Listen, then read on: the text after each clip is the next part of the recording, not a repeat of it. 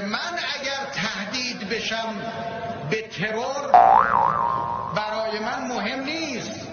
من همه ما رمزون ها هم شما خوندید ما خوندیم همه با هم خوندیم. و قتل فی سبیل سبب فقلنا آرزوی ما هست که این رو داشته باشیم.